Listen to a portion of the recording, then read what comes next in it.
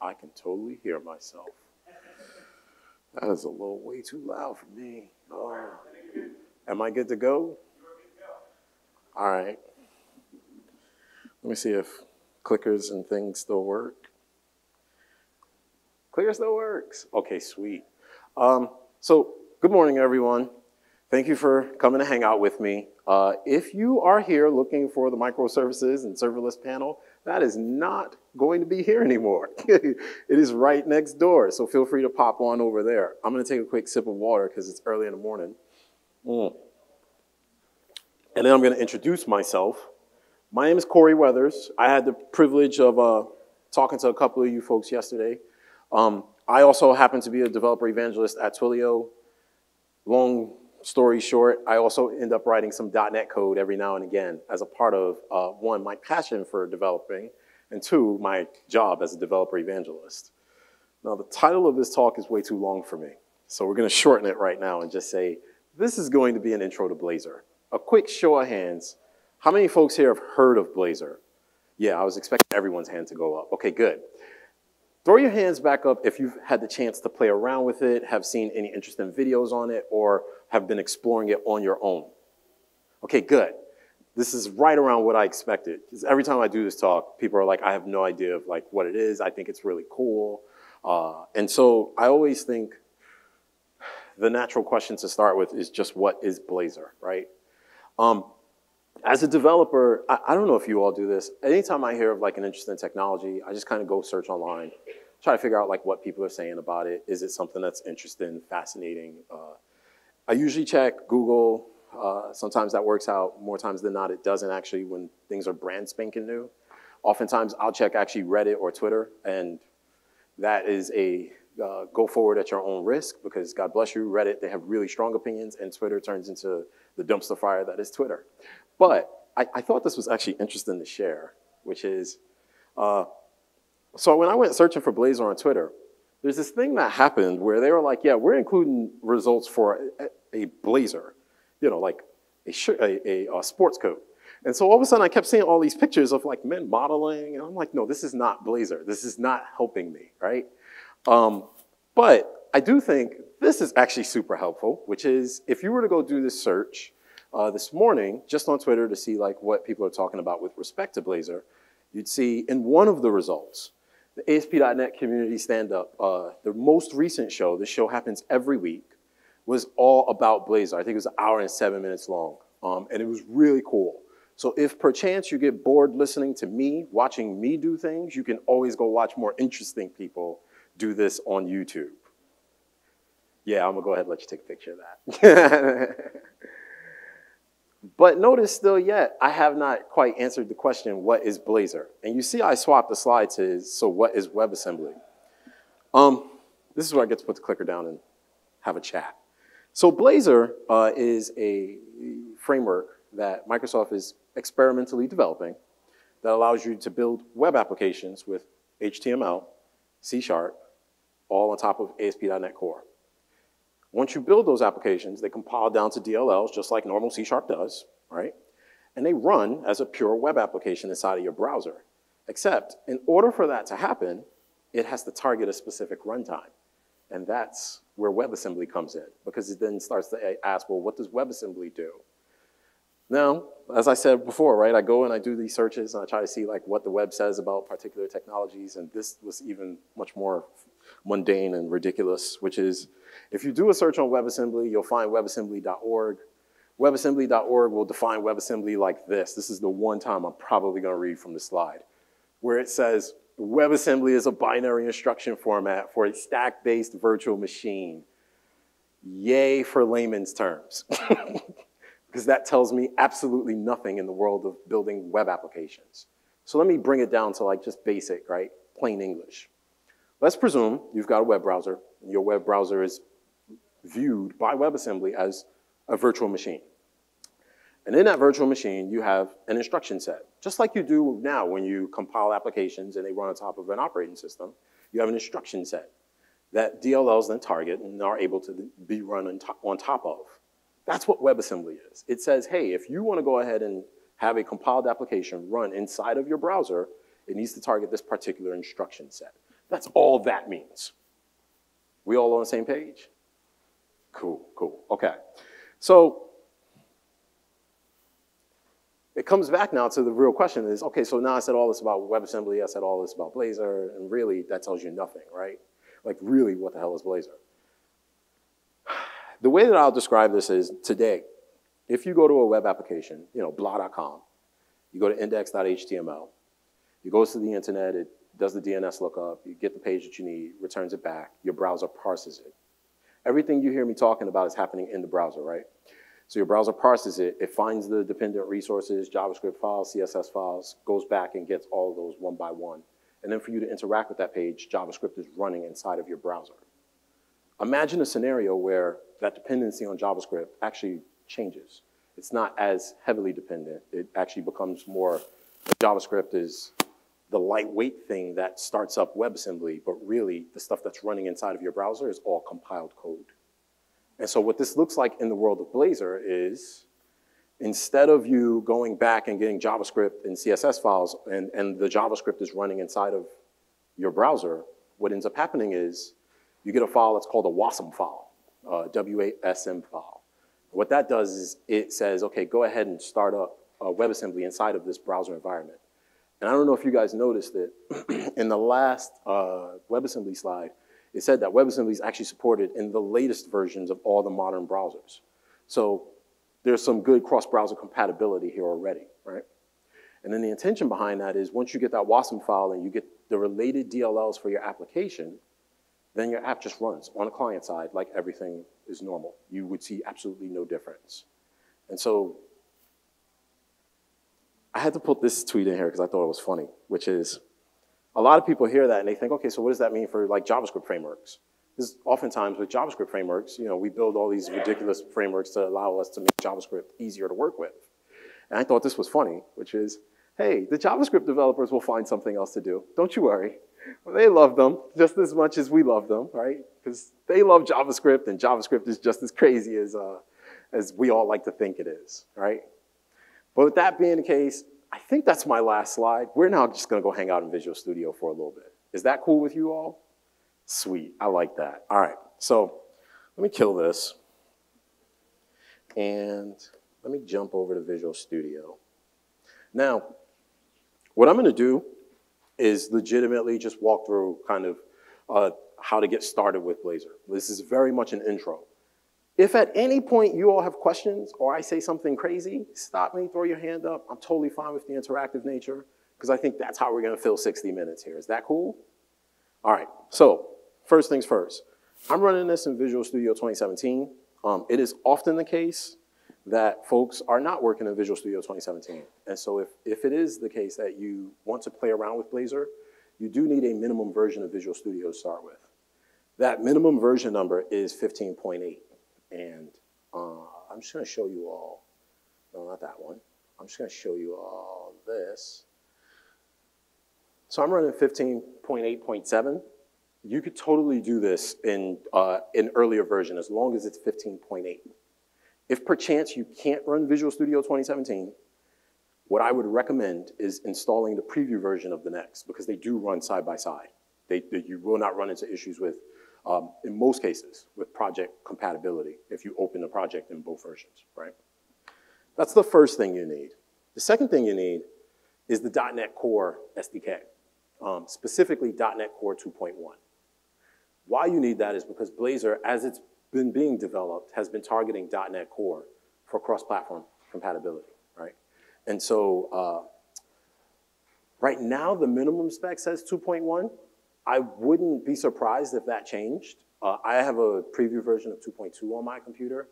Every time they make some changes, it, it, they rev that up. So it wouldn't surprise me if you saw that change literally in a couple of days. The last thing that you need is um, the Blazor extension. And there it is right there. It's called ASP.NET Core Blazor Language Services. And what this does is actually install the, the bits that Blazor needs to run locally on your device. And you would get this just by going and looking up extensions and looking for Blazor and just installing it that way. Now, once you have this, I'm gonna close this out. Creating a Blazor application is literally as simple as creating a, a new .NET Core web application. I'm gonna change this directory. And let's change that to talk.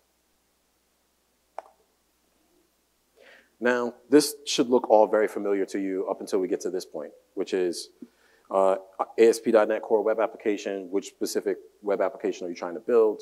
In this case, you actually see three entries for Blazor, and you're probably wondering, okay, why are there three? What are the differences? The first one, the one that's already highlighted, is the one that we've been talking about already, which is you start up an application, or uh, you want to start up an application that runs on the client side, works really well for the, a single page application, right? Um, you'll have everything download locally on your device, and then uh, uh, you'd more than likely use HTTP requests or APIs to help you get connected up to data outside of that specific app. That's the first one. The second one says, okay, well, what if you want to build your own API behind the scenes, right? Because oftentimes with single page applications, in order to get data in or out, you use some sort of API, microservice, some sort of REST call behind the scenes. And so this is just Visual Studio trying to be nice and say, hey, we think we want to help you out. We'll give you the, your Blazor client app, but we'll also give you a server app, right? And that way, if you want a server API project, and that way, if you want to go build out your API, you just keep doing that. And it'll give you like some shared libraries and all this fun stuff. That's really not as interesting. This one's actually much more interesting. So what the server-side one is, is uh, this construct that, remember earlier where I said to you, in the world of Blazor, when you run a Blazor web application, it downloads a WASM file and downloads the DLLs that you need to run the application. What if you did not want to do that, but you still wanted to run a Blazor application? This third one is what we call server-side Blazor. It's this idea that you would have that Blazor process hosted in an ASP.NET Core server process. And then to communicate back and forth with the server, instead of you using JavaScript for, I'm sorry, instead of using HTTP requests uh, for like API calls and things like that, you'd use Azure SignalR to continue to make the necessary changes. So say for instance, you wanna click on a button and that button does a thing. Well, behind the scenes, it's using Azure SignalR to, co to connect up to the server, get what it needs, and then come back to the client and run that actual process, that method, whatever it is. Does that all make sense? Okay, go ahead. Good question. So the question is, would you need an Azure account to create that project? In the future, yes. Today, they're using a version of ASP.NET Core SignalR um, that is pretty much RTM or general availability ready. And so you wouldn't need that to, uh, to run locally, but you, you would need it to deploy. Any other questions? Sweet. All right, cool. So I'm going to go ahead and click on Blazor because I want to keep things really simple. And the first thing I'm actually going to do is just run this project. I'm, I do not even want to talk about what's in the project yet because I don't want to get you all confused. So what happens as a part of the build process, because this is actually really important. Remember I said it takes uh, HTML and C Sharp and turns it into a web application. And uh, what happens as a part of that is your application Oh, this always happens. Give me one second. Let me close that out. Yeah, this is the one that I need. And let me actually kill this. And let's do this in Chrome.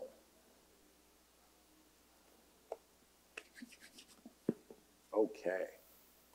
And I want to open up the dev tools. And we're going to do this again. Okay, yes, that's what I wanted. So this is just from me pressing run. I didn't make any code changes. I didn't do anything. It's really important to call this out. The reason why is because your application has a bunch of C-sharp code inside of it, right? That's interacting with the browser, right? There are some times where you'll include things that you don't actually need. And so what Blazor does as a part of the framework, as a, as a part of the build process, it will go through and remove any code that is not actually being used. Why am I saying this to you? Because you'll see, you're seeing a couple of things here. Obviously, you see like the request to localhost here in the dev tools. You see this bootstrap stuff, right, just to get the site set up. And then there's this Blazor WebAssembly.js. What is this? This is the thing that actually sets up Blazor to run inside of your browser. So the thing is, yes, WebAssembly exists, and yes, we have this application that's now built with DLLs and all this fun stuff, but the web was not built with this in mind, right? It was still built with the notion of what does it mean to do HTML and to allow scripting to work. And we've gotten really good at that. So we're still using JavaScript here to bootstrap Blazor, to get it set up, to get it running. The other thing that's actually really important is this blazor boot.json. And let me see if I can actually pop this out because what's in here is all of the information about your application, which is why it's super important. It says, hey, this is the main DLL that you need to actually run the app. This is how we start our application. Here are all the assembly references that we need for this application to actually continue to work. And if you notice it, there's a bunch of like Microsoft DLLs in here by default, just to enable things to work. Um, and most of that's Blazor stuff. And then you'll see some extensions, uh, dependency injection, and I think configuration, oh, and JS, JS interop, which allows you to call into JavaScript from your C-sharp code, right? And then you see this fun stuff about Mono and the system.dll and all of these fun things. Now, why am I showing this to you? Because yes, what this looks like is we are pretty much downloading a version of Mono and the dependent DLLs to the client side for this web application to work. So this is the point where people start to say, okay, well, what about things like security? What about things like privacy? What about things like um, uh, uh, performance? Um, I'll tackle performance first because that's the easier one, which is uh, it is the case, as, as, has always been the case, that running native code is generally faster than running JavaScript code because JavaScript code has to get interpreted.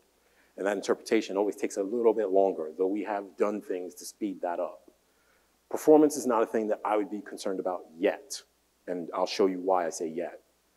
When we talk about things like security, completely spot on. This is why you gotta think about how you sign those DLLs, what specific uh, certificates you use to sign those DLLs, and uh, reducing the amount or the number of DLLs that you expose to the client whenever it is that you build a Blazor application. But you should have that concern for any application that you build, right? Same is true for privacy, which is if in fact someone wanted to reverse engineer your code, you should be thinking about how you can uh, make that e either more difficult or open sourcing your application. Does that all kind of make sense? So then what you'll see here is this mono.js, which kind of starts up mono, mono.wasm, which says, okay, now that mono's running, take these DLLs and convert that, because we know how the, C, how the .NET uh, compilation process works, right? We take C sharp, we compile that to IL. That IL then needs to be uh, translated into machine level code. That mono.wasm does that for WebAssembly very specifically. So this is all still running on top of WebAssembly. It's just C sharp code. And then you see the request for all the DLLs. Now, I want to show you all something really quickly, which is, let me close that. If you look at just in total, the amount of content that we just downloaded, talking about 1.9 megs, really small. Obviously, I did this locally, so the amount of time it took was, you know, a couple milliseconds or a couple hundred milliseconds. But legitimately, one of the questions that people ask is, hey, if this is Blazor and it targets ASP.NET Core, why are we using Mono, right? Like, it doesn't kind of make sense because they, they're, in the world of .NET, they're two completely different runtimes. And the reason why is because ASP.NET Core was built with the idea of building server-based applications. Mono built with the idea of client-side applications that are uh, cross-platform. And so Blazor is a client-side framework. The intention is that your application runs on the client, just like a single-page application would. And so they've updated and they've changed stuff with Mono to enable it to run with WebAssembly, right? keeping this in mind, one of the questions that folks have asked is like, well, .NET Core is going in the direction of trying to allow you to build desktop applications. So .NET Core 3.0 is gonna say, hey, you can build a desktop app, cross-platform in C Sharp or .NET languages that support .NET Core 3.0. What does that mean for this? And my response to that is usually nothing. And the reason why is because the changes that they've had to make to Mono to enable it to run on top of WebAssembly are not insignificant. So what I would expect, at least in the immediate future, is that Microsoft would continue to make those changes and investments into the mono runtime, which is still used in Xamarin, still used in a number of other places. But then uh, if at some point they realize that they need to convert that over to .NET Core, they will do as much as they can to reduce the damage because there are some, run, uh, some namespace differences between the two runtimes. That all making sense? Let me stop and see if folks have questions. Okay, good. So I just showed you an app. This is just a basic app that just comes from the project. There's a lot here already. It's almost like, phew. so instead of showing you all this fun stuff, let me actually show you how to build an, a, a thing, right? And like what you get with the project. So I'm gonna jump back over to Visual Studio and stop this. Now, quick show of hands, how many folks have used ASP.NET Core for web applications?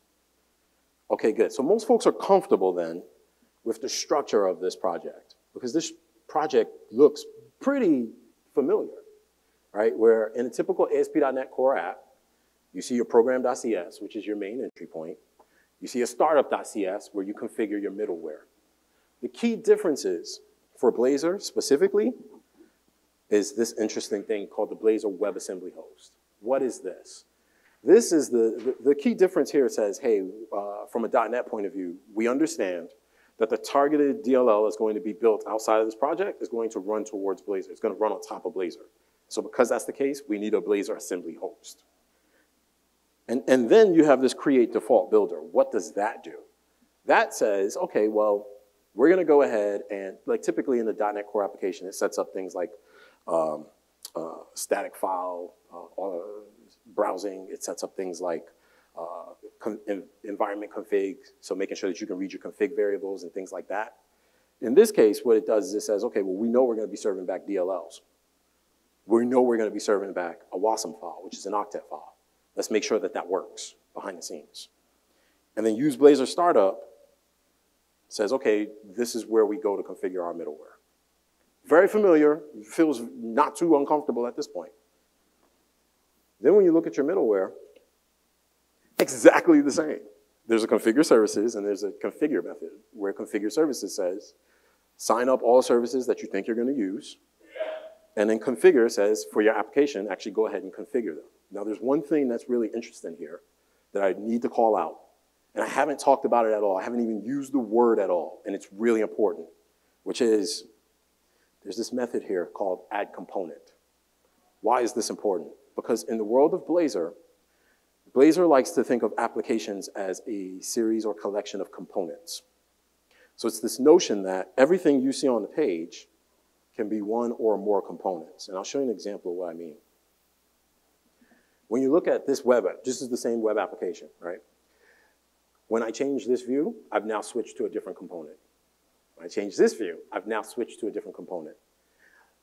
If I click on this button, I'm doing something that is uh, isolated to just functionality inside of an individual component. Even this entire frame is its own component. And how you can tell that is if you were to just look at the source code for this index.html, you see this app tag.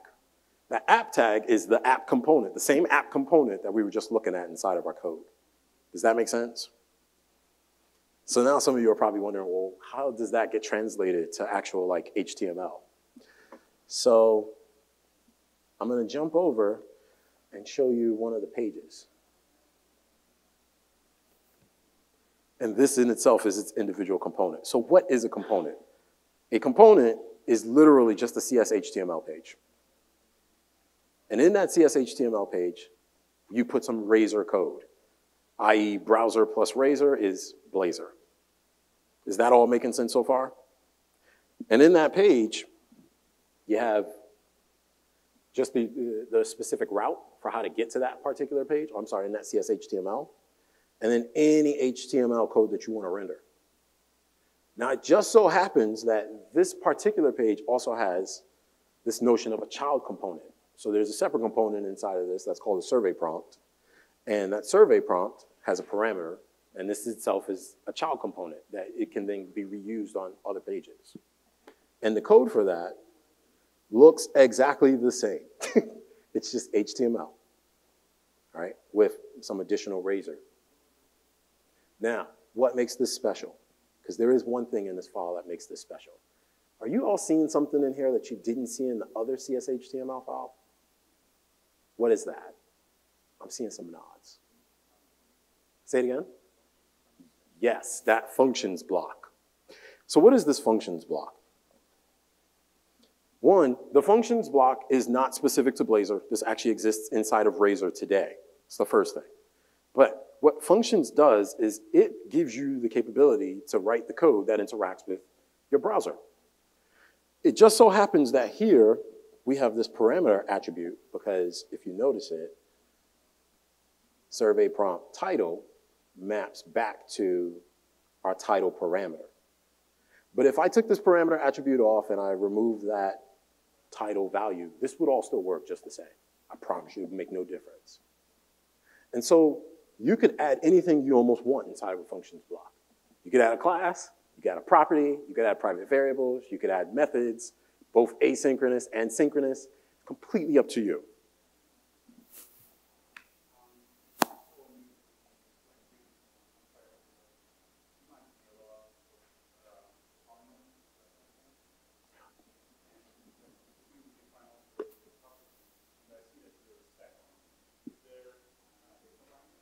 Good question. So I'm, I'm going to synthesize the question a little bit for the, the, the, purposes of the larger group, which is, this feels very familiar to the Polymer set of web components. And inside of there, you have these properties where you can get and set the values, just like we see here. Is there some sort of data binding that we can do with Blazor? Yes. There are three different ways that you do data binding um, inside of Blazor. And I'm gonna cover two of them because one of them we don't have a clear example of, um, at least in the project and it actually gets a little bit crazy. Uh, but the first way is by doing something that looks like this. So say I have a p tag, and this p tag just says, uh, has a, um, what's the right property I want to use here? Hmm. The way I want to do this, I don't want to use a p tag. Let me use an h1 and or h2. And the reason why I'm doing this is because I want to say this is my binding.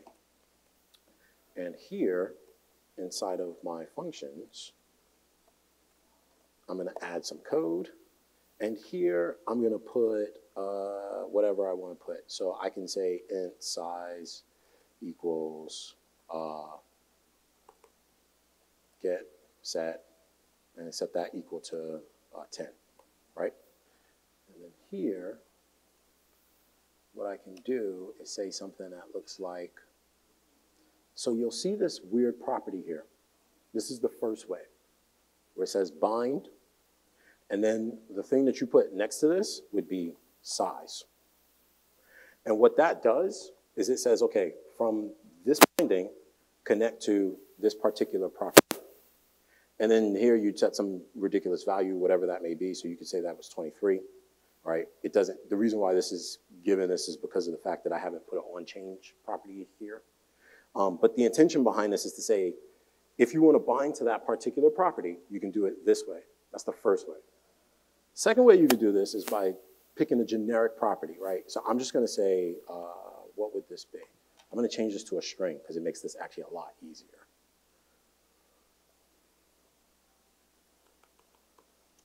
And I'm going to use class just because it's easy to demo. But this is the second way that you do data binding.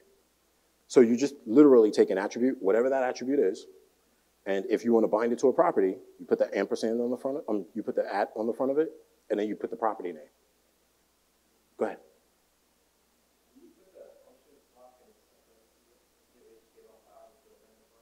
You can also do that as well. Um, and the way that you do that, it gets a lot of fun. So let me actually just show a basic example of that, which is here I'm going to add a CS file. And I'm going to call this generic demo. And inside of this class, what you have to do is have it derived from a specific base class. And I believe that class is now called Blazor Base Component. And Visual Studio is going to keep me honest.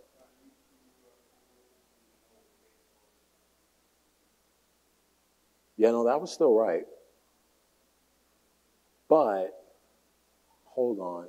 I always get this class name wrong because they've just changed it. So, I'm going to go pull up the docs because this is one of the fun things about good old uh, Blazor development is that whenever they rev it, they do make some changes that will sometimes break you, which is why it's still very experimental. Come on, internet. Okay, so I'm gonna go blazor.net. I'm gonna go docs, uh, components, code behind. Oh, it's Blazor component now. Okay, so let me take that out. And then take that, add in that using at the top, right? And then what you do is if you want to put a property back here, say like public string value, uh, and I'll just say get set. I'll, and, and you see, I always set this to like some default value. And the reason why is because it's HTML, stuff is gonna show up on the browser. You always wanna make sure that there's something that's going to happen. So set this to my random default. Then what you do is inside of the component that you wanna use this behind the, the, the code behind experience in, yeah, that's fine.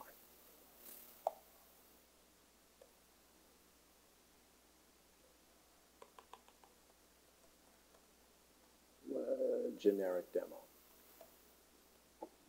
And then here, after you put this implements, whatever that class is, you can use that property. So I could even take this out, right? And what did I name that? I named it value and I'll just say at value. And if I save that and I run it, which I can do right now, but uh-oh, why is it not? Give me one second. Do, do, do. Oh, wait, wait, wait. Wait, wait, wait. It's the using. Using talk.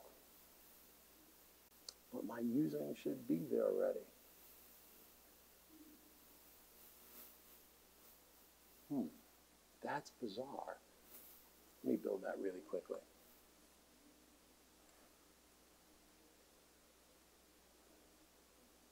Oh, I know why. This is complaining because I added this to a component that already exists. So if I had done this in a brand new component, it would work. The reason why it makes a difference is because when in fact you build a component, so yes, you see the CS HTML, but what happens behind the scenes is uh, the Blazor framework will generate the code for you for that CSHTML. And that component itself is not a partial class in C Sharp. If it were a partial class, this would work. That's why it's given an issue. Does that all kind of make sense? Okay. So I'm gonna stop there, close this. What I want to do is actually show you guys that demo. So I'm going to go ahead and create a new, a new page and do it. We're going to rename that to Corey Demo. I'm going to get rid of all of that. That's fine.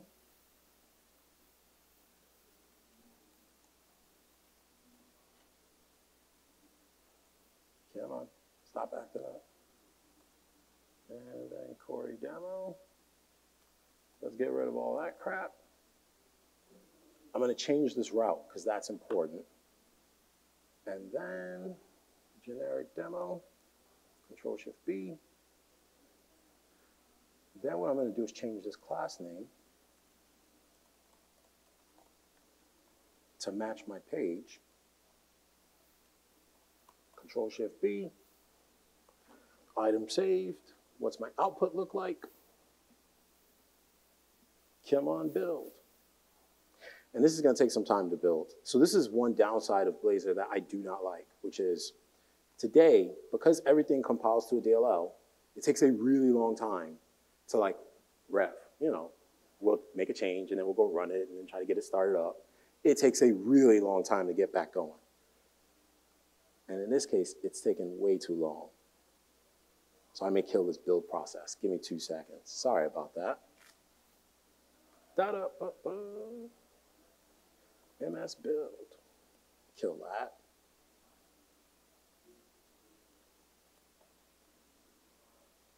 Did you stop? I still see the background task. Let me control shift B that. I see it building. I see a building. Nothing. That sucks.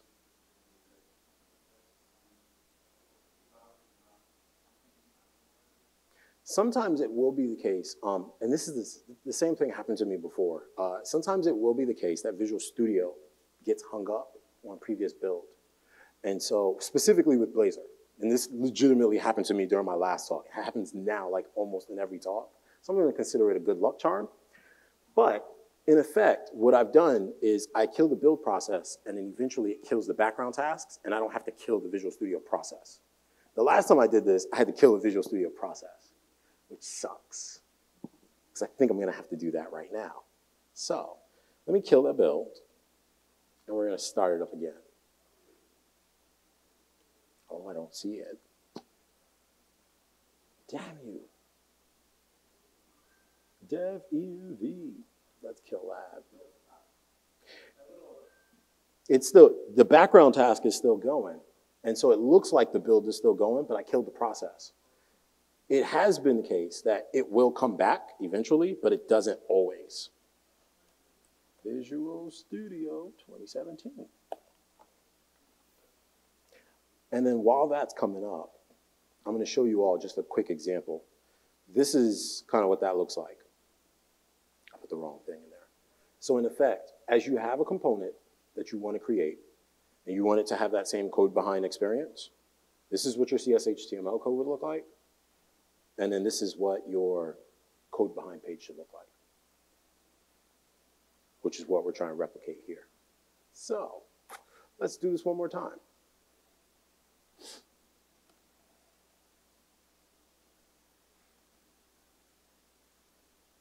SVCC, talk, CS.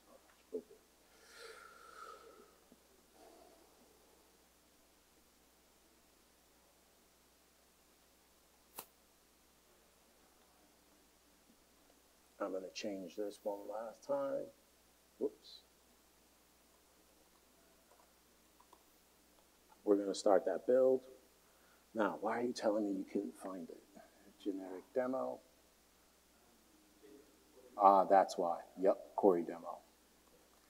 Good old save. Control Shift save. Control Shift B. What? Oh, hold on. I hate when that happens. Clean the solution.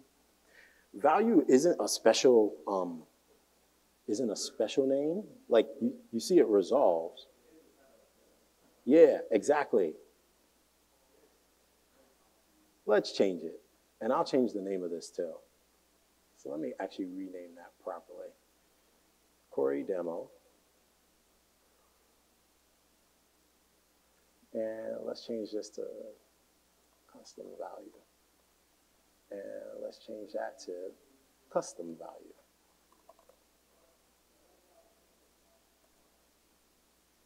And that's weird because I see that works. Talk pages.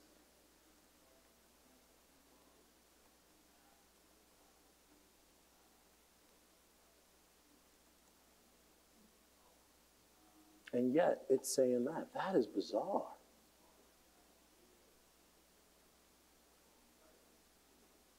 Yeah, the IntelliSense is getting way better.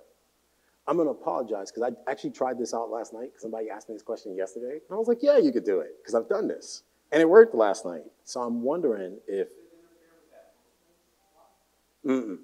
Uh, because it's a different name. We could take the functions block out and see what happens, right? But last night when I did this, that didn't cause a problem.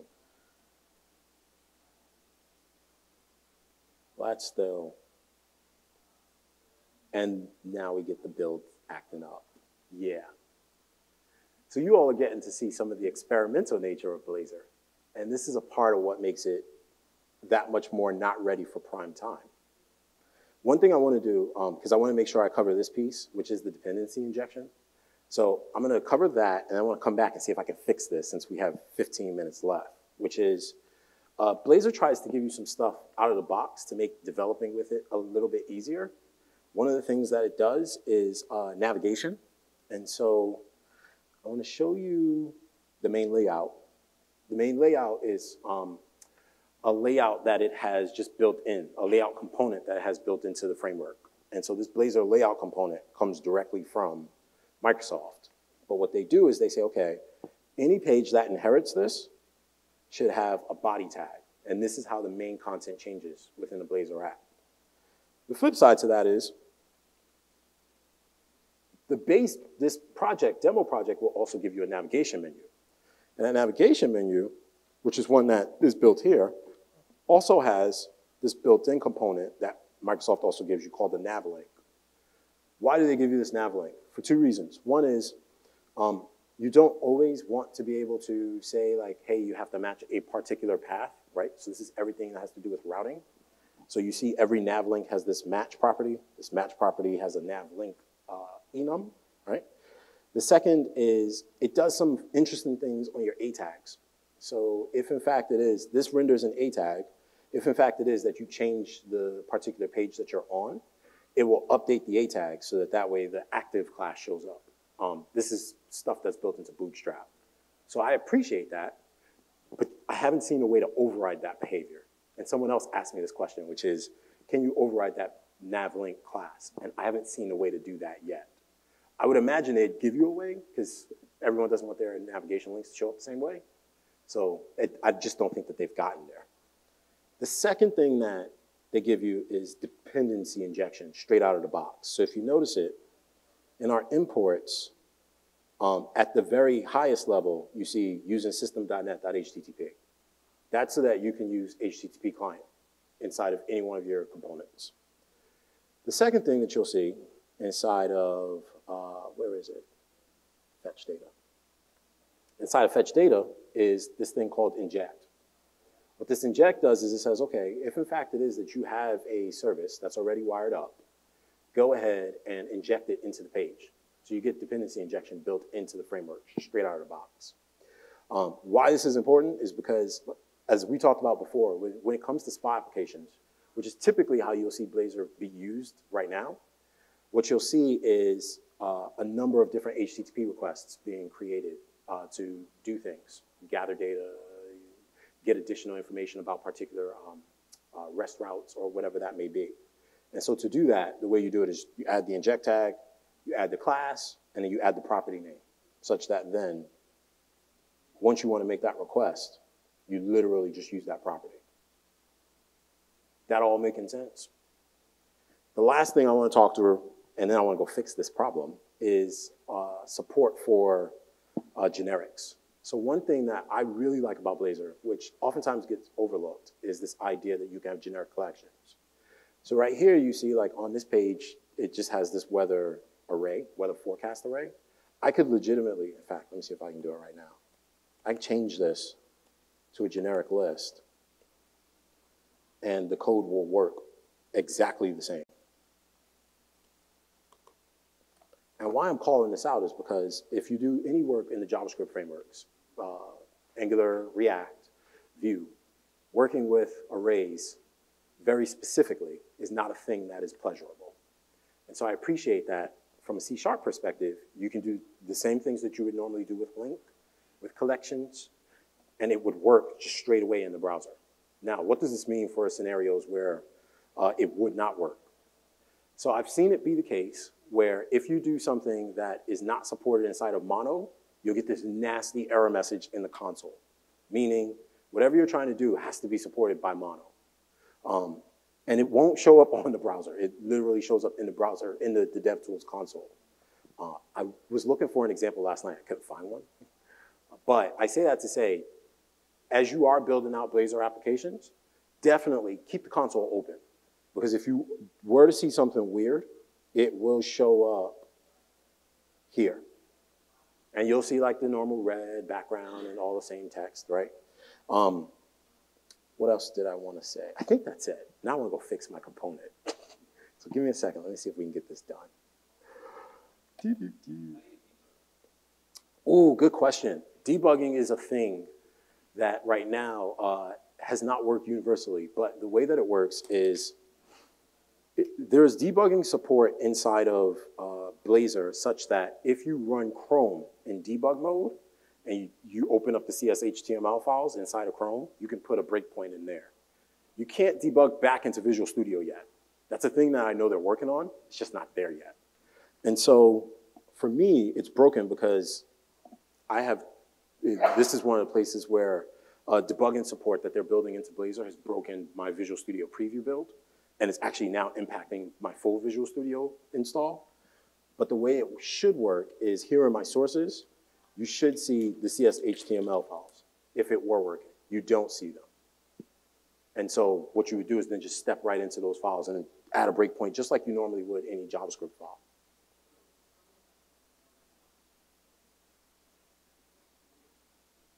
I want to stop and see if there was another question. Okay, cool. Now I want to see if I can fix this bug, Mean this issue. So it gets killed Visual Studio again because the build is still going as we see that thing right there and nasty background tasks. So the last time I did that, it took way too long. And we'll see, like this is where I was, I was hoping that they would put some stuff in the output log. Oh, look at that, it finally did, thank God. Yes. Okay, so let's save that. Thanks for that suggestion. Let's come back to Corey demo. Don't care about that. Inherits Corey demo. Let me take that and move that up. That's fine. I see that. Talk pages, Corey demo. Take that out. I don't see anything here that shouldn't work. Come back here. Come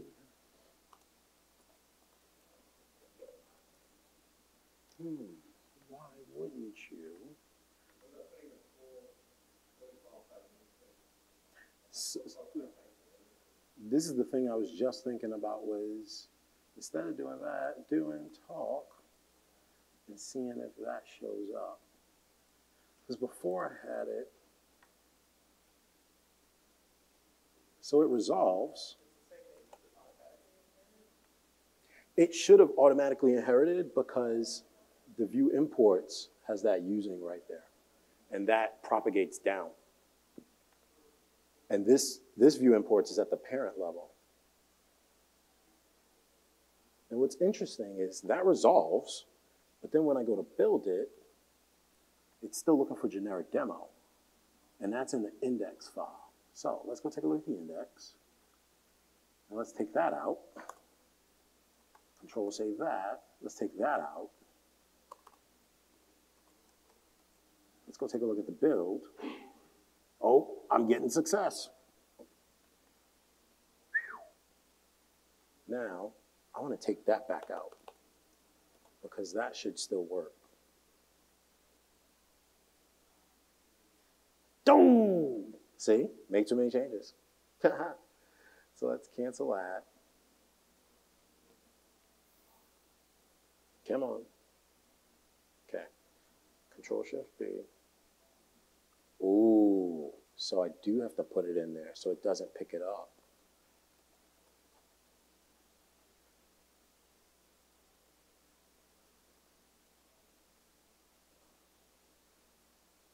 Come on through. Come on through. Okay. So I've got talk.corey demo. I've got custom value. If I F5 that, that should work. Build succeeded.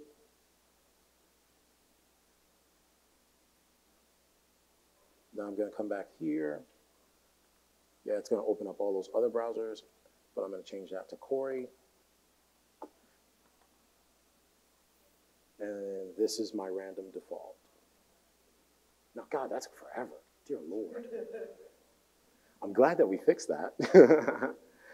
but that's one way you could do it. Um, the other thing, too, that they talk about, and there are some best practices that are starting to show up. So, a good example would be if you decide to um, uh, add event handlers to a page, uh, being very intentional about when to use asynchronous event handlers and when not to because of how threading works. So what that would look like is, I'm just gonna come here to this page, I'm gonna add a button on the bottom. And uh, we're going to say on click equals uh, refresh. And uh, let's just say refresh, right? We've got Bootstrap. I'm gonna add a couple Bootstrap classes real quick just to make this look somewhat decent. Button.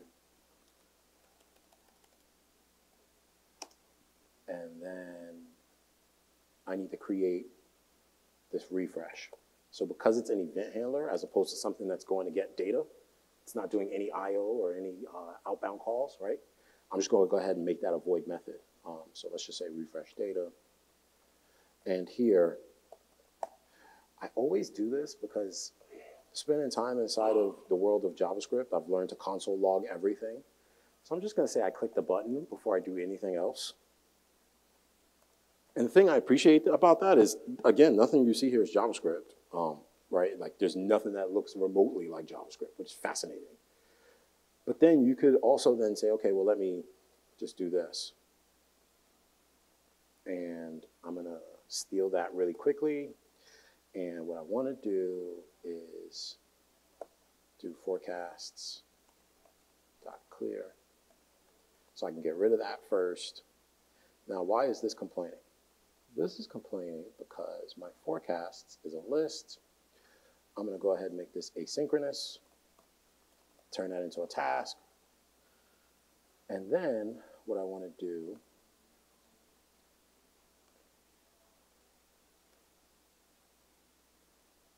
is run this. So you see, the only reason why I turn that into an asynchronous thing is because I'm doing something outbound. But legitimately, if I was just updating the DOM or I was making a change, I would just keep that as a void method. Um, and you'll notice I'm not putting anything that says public, private, protected, internal, right? Uh, by default, everything's private, but accessible within the scope of the particular uh, component. You can make it public, doesn't make a difference unless you are resharing, because you can turn this into a library and share it. Um, that's been the only scenario where I've seen people explicitly say make it public. Other than that, it's been private by not put by omission. Look at this build. It's, it's not working again.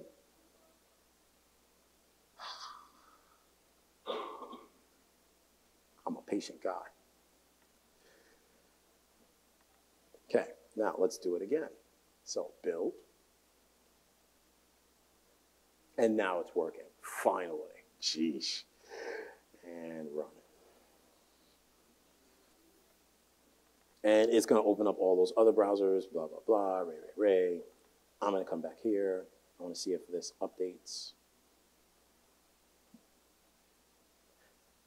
So the one thing to keep in mind is every time you click that refresh button, like I have mine set to automatically reload from the server, but it will, because of that, it's pulling the DLLs if you're trying to browse around and you refresh the page, it will try to update as much of the app as possible because it's presuming that it should have everything on its computer already, on a computer already.